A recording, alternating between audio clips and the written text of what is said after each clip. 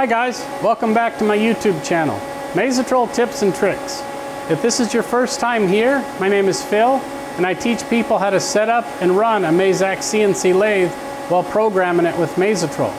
If you want to see more of this type of content, be sure to click that subscribe button and hit the bell so you won't miss anything.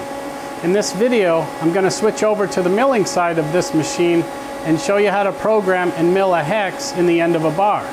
All right, let's get started. All right, the first thing we're going to do is we're going to utilize an existing program and program the hex on the end of demo part number one, which I have it called up already. So program. So here's demo part one. And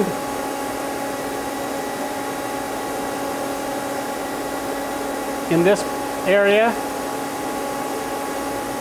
I just got done drilling, uh, and in this area, I just got done drilling a 1 inch 130 hole in the end of the part using the manual process.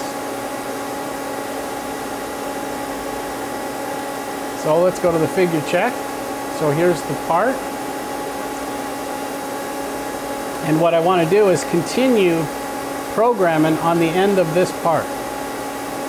So what we're going to do is go to program, push the program button to get into edit mode, go down to the end of the program and erase the end process. So right button, erase input, down arrow, and then push shape in. So now we're back into the edit, edit mode. So what we want to do is push the three arrows twice. That gets us into the milling menu on this machine. So we have milling drill as an option, milling tap, bore, milling groove is MGV, LCT is line centered, so it runs the end mill right down the middle of the tool path. Uh, right is uh, G42, and then left is G41.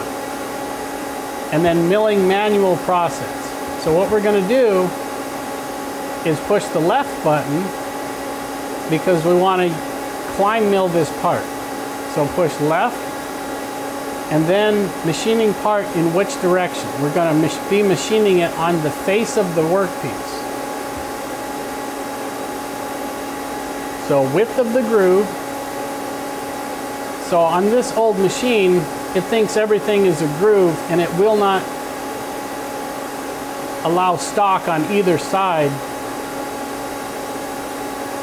like a mill process does. The newer lathes don't have this limitation, but on this old machine, uh, the groove is what we're left with. So the tool I want to use is going to be a half inch end mill.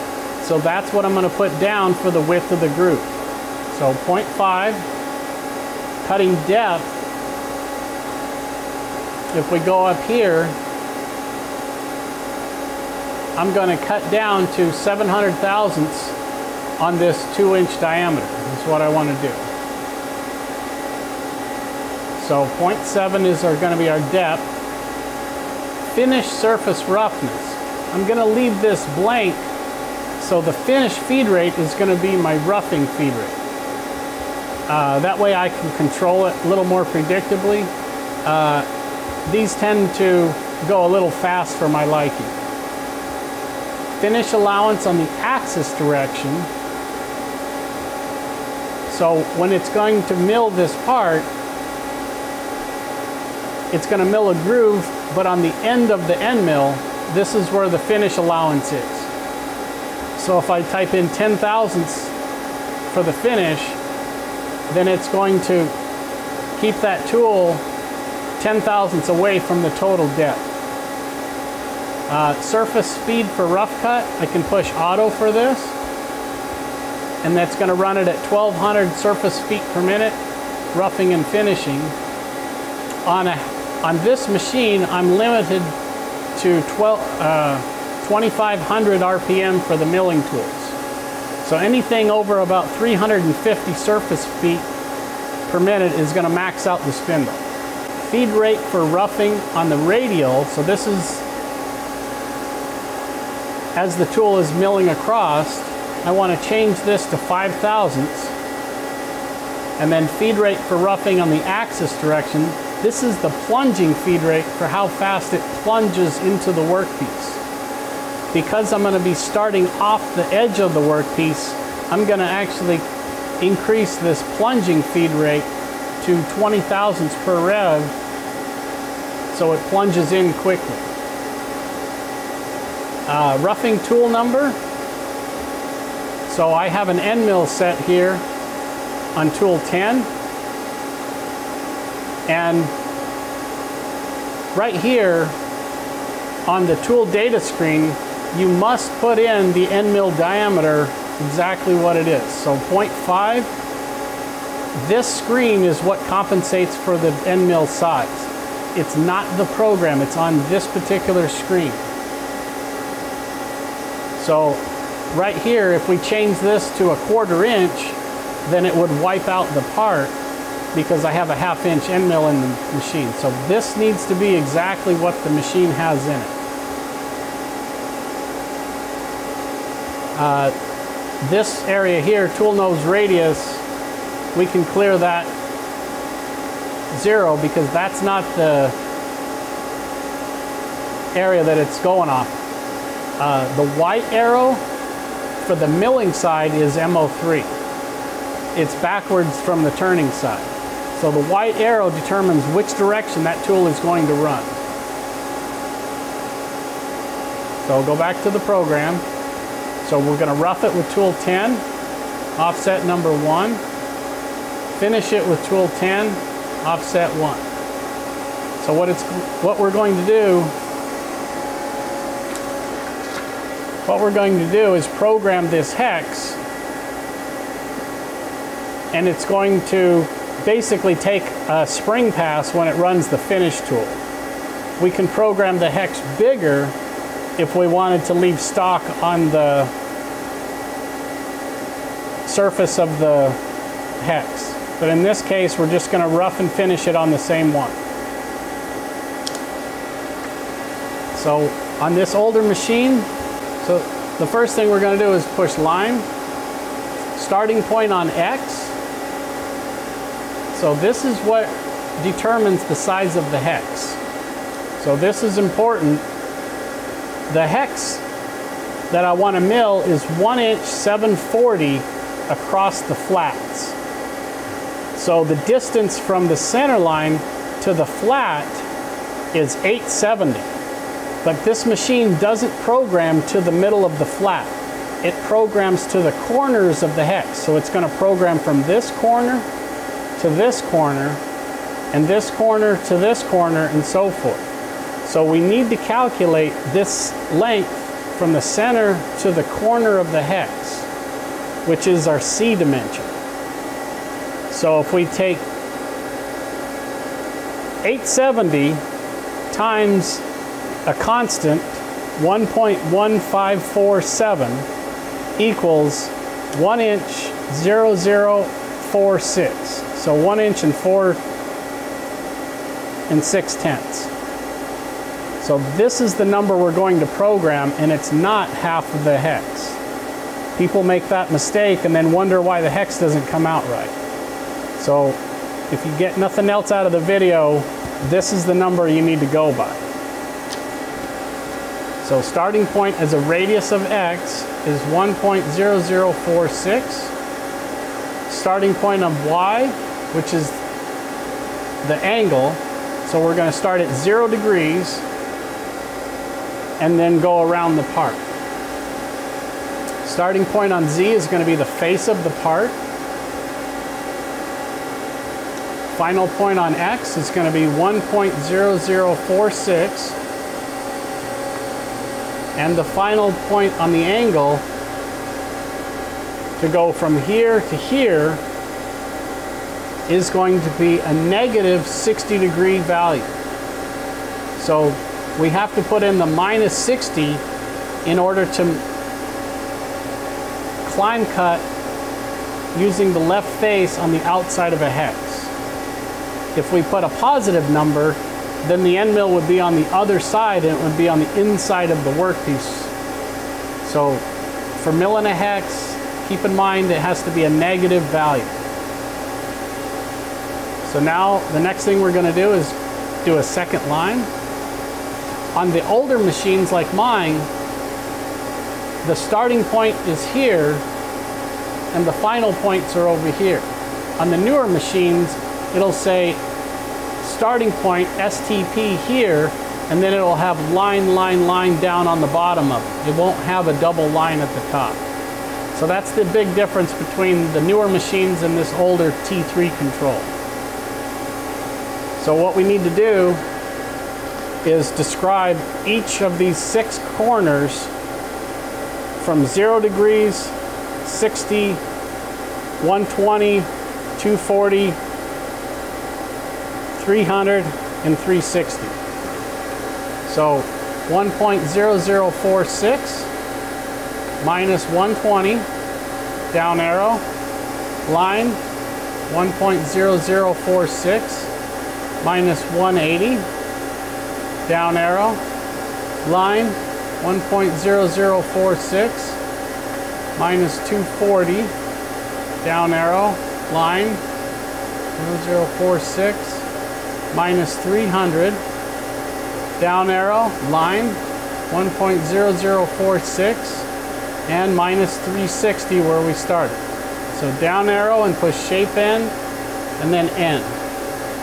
And now what we want to do is look at the workpiece figure. So push the right button, push figure check, and then push the display mode. What the display mode does is it rotates the face of the part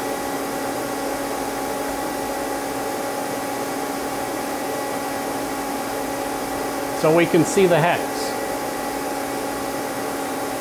So here's the side of the end mill, and then this is the face. And it's going to mill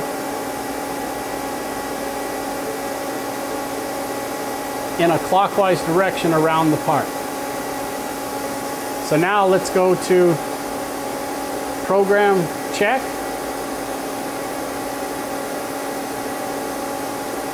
Well, for this part, let's go back to program. We've already run the turning process and we've already run the drilling process.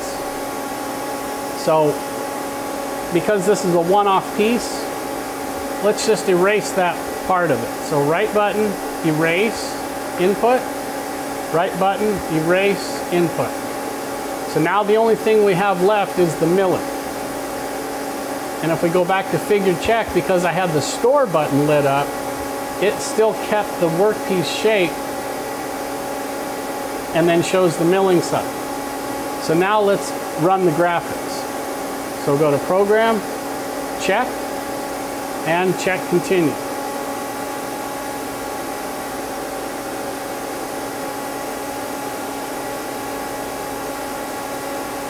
And there you go. There's our workpiece. The corners are around a two inch diameter and then the flat is the 1.740. One thing that we can do on the screen to measure the flats, we can put some false geometry in here. So let's do that now. Erase, down arrow, shape in. So now let's do bar stock, bar out,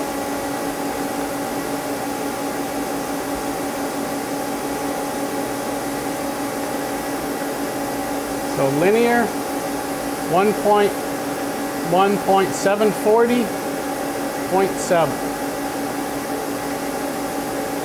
So what I just drew was a diameter, 1 inch 740 in diameter, 700 thousandths long.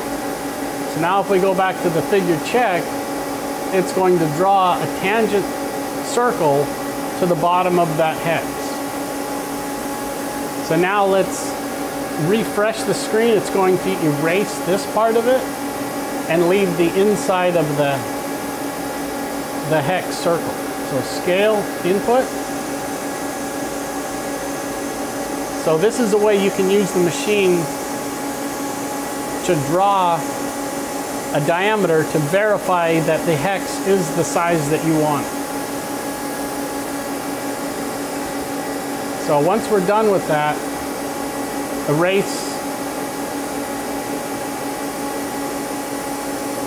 the false geometry and we're ready to run the part.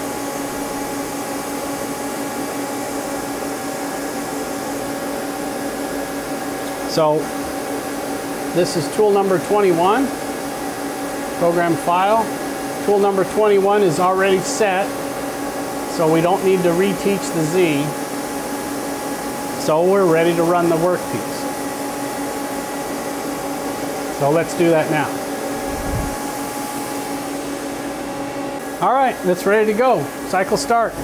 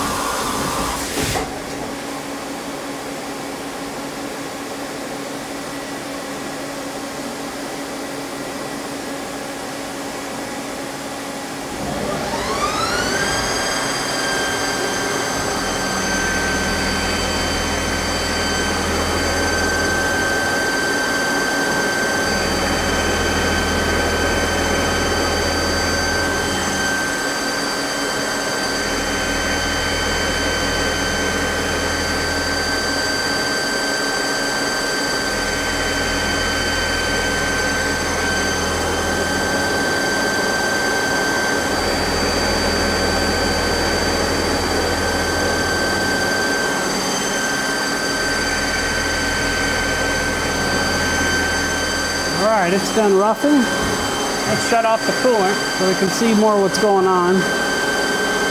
Feeding into the workpiece.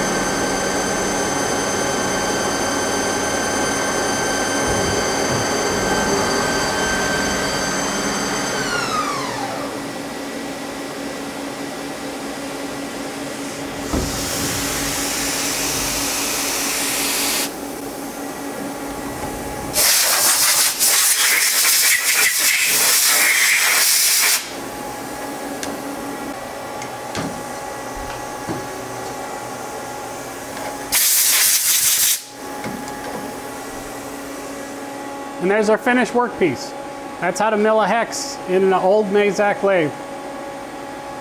If you like what you see, go ahead and push that subscribe button and click the bell so you won't miss any future videos we have coming out. Thanks for watching.